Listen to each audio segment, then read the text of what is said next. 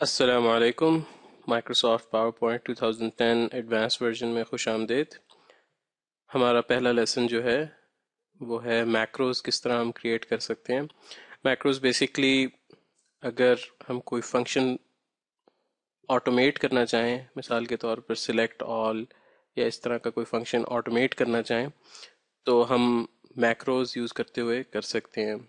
Macros Microsoft Word और Microsoft Excel में different हैं पावर पॉइंट की नस्बत पावर पॉइंट में आपको विजुअल बेसिक की प्रोग्रामिंग आनी चाहिए, तब आप मैक्रोज क्रिएट कर सकते हैं। तो सबसे पहले ये हमारे पास एक स्लाइड है और हम देखेंगे कि मैक्रो किस तरह क्रिएट कर सकते हैं। तो सबसे पहले मैक्रो क्रिएट करने के लिए हमें रिबन में डेवलपर टैब पर जाना होगा। डेवलपर टैब में जाने के बाद आपके पास कुछ ऑप्शंस होंगी। पहले आपको मैक्रो सिक्योरिटी से जाके मैक्रो को इनेबल करना पड़ेगा। मैक्रो सिक्योरिटी पर क्लिक कीजिए।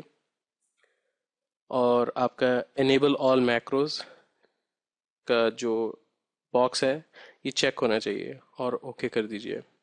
उसके बाद मैक्रोज पर क्लिक कीजिए कोड ग्रुप में और यहाँ पर आप अपने मैक्रो का नाम देंगे। तो आप यहाँ पर नाम देंगे और उसके बाद क्रिएट कर देंगे। जब आप क्रिएट करेंगे तो आपका सब टेस्ट वन और एंड सब आपके सामने माइक्रोसॉफ्ट विजुअल बेसिक की विंडो खुली हुई आ जाएगी और इसके अंदर आप कोडिंग करेंगे और जो भी कोड आप लिखेंगे, वो फ़ंक्शन मैक्रो परफॉर्म करेगा।